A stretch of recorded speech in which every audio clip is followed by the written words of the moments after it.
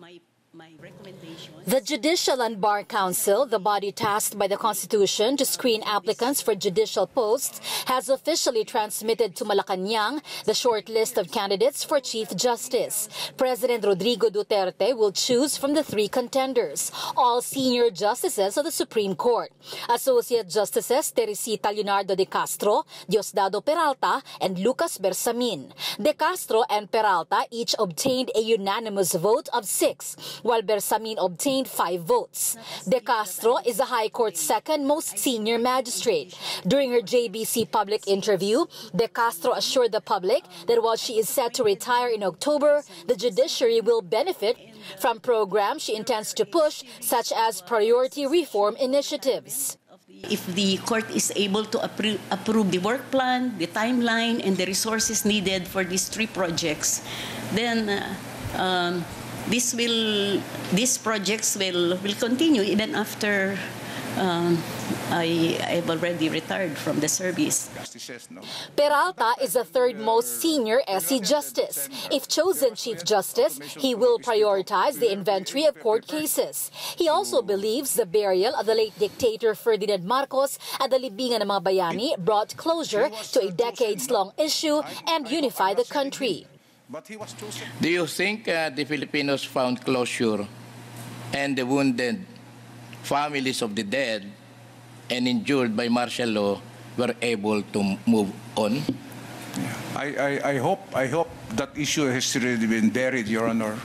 Because if we do not bury that issue, then uh, we cannot move on. And I still believe that uh, whatever is the past, we have to move on.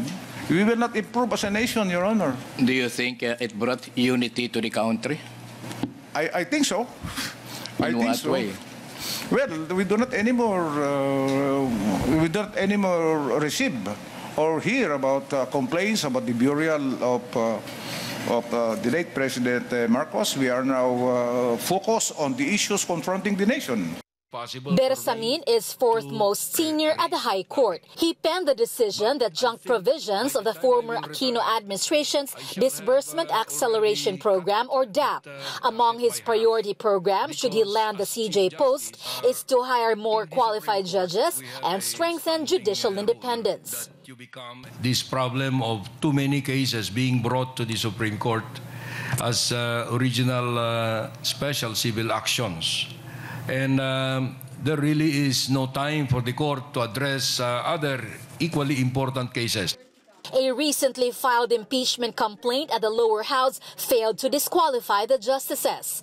JBC member and Justice Secretary Menardo Guevarra says the complaint has not matured into a full-blown impeachment case. Solicitor General Jose Calida believes the complaint will not see the light of day, especially since it is anchored on the justices' vote in the Sereno ouster case. Calida stresses deciding constitutional and legal issues falls within the powers of the Supreme Court.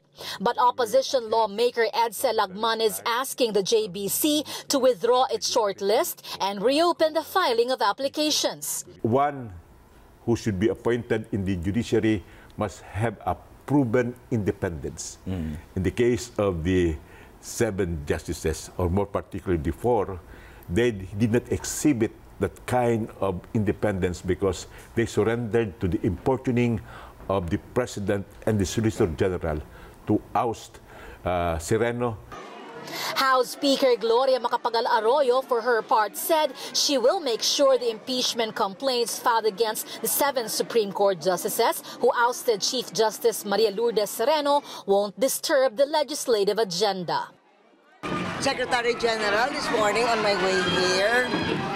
He has already transmitted the impeachment uh, charge sheet to the to my office, and then uh, they will send me the transmittal for my signature later here in Pampanga, so that I can transmit it also today to the Rules Committee, so that the Rules Committee can have it read out on Tuesday.